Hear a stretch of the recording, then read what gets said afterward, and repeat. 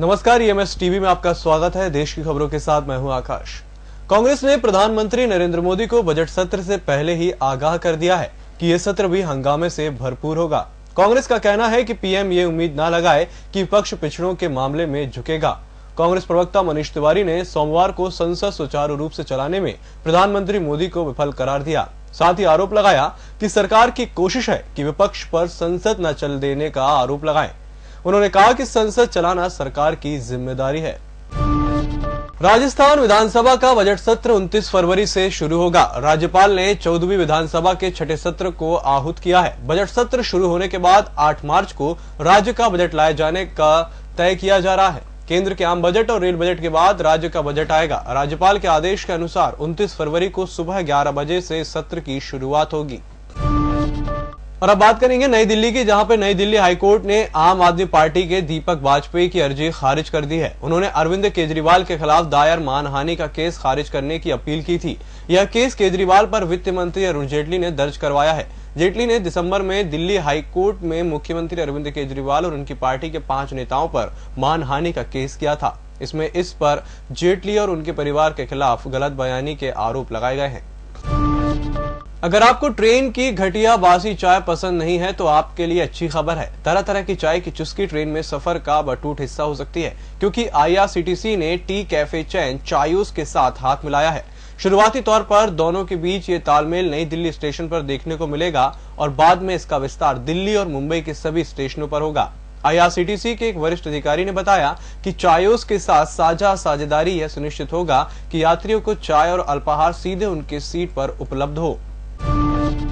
UP सरकार ने सोमवार को उनचास आईपीएस अधिकारियों का तबादला कर दिया। इसमें 21 जिलों में नए पुलिस कप्तानों की तैनाती की गई है। इसमें 10 जिलों में पीपीएस से आईपीएस हुए अधिकारियों को जिलों की कमान दी गई है, जबकि 11 जिलों में आईपीएस सीधी भर्ती के अधिकारियों को मौका दिया गया है।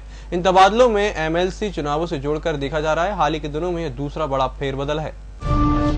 और समाजवादी पार्टी मुखिया मुलायम सिंह यादव ने एक बार फिर चेतावनी दी है कि जो मंत्री विधायक पैसा कमाने में लगे हैं, वे इससे बाज आए। अगर पैसा ही कमाना है तो व्यापार कर लो। उन्होंने कहा कि पार्टी में चाहे कोई मंत्री हो या विधायक या फिर कोई और हो, अगर गड़बड़ी की तो उस पर सख्त कार्रवाई होगी।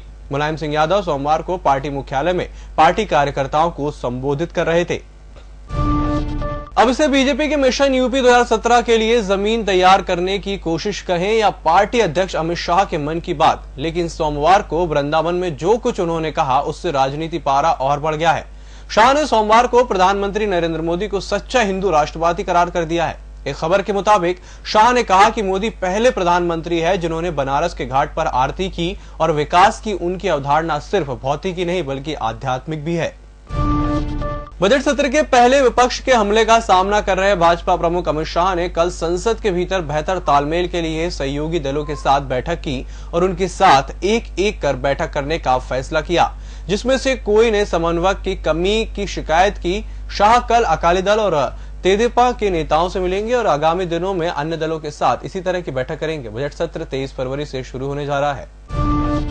और संसद हमले के दोषी मोहम्मद अफजल गुरु और जेकेआरएफ के संस्थापक मोहम्मद मकबूल भट्ट को फांसी की बरसी क्रमशः 9 फरवरी और 11 फरवरी को देखते हुए सीआरपीएफ ने कश्मीर घाटी में हाई अलर्ट जारी कर दिया है और अपनी सभी इकाइयों को पूरी घाटी में तैनात किया है। सीआरपीएफ के एक प्रवक्ता ने कहा कि हुर्रियत के सभी धड़े और अलावगाती द्वारा 9, 10 और 11 फरवरी को हड़ताल और प्रदर्शन के आह्वान के परिप्रेक्ष्य में सीआरपीएफ की सभी इकाइयों को हाई अलर्ट पर रखा गया है। देश की खबरों में फ़िलहाल इतना ही। ईएमएस टीवी की बाकी खबर आप ईएमएस टीवी की वेबसाइट के साथ साथ हमारे ऐप्स पर भी देख सकते हैं। इसी के साथ मुझे दीजिए इजाज़त और देखते रहिए एमएस टीवी नमस्कार।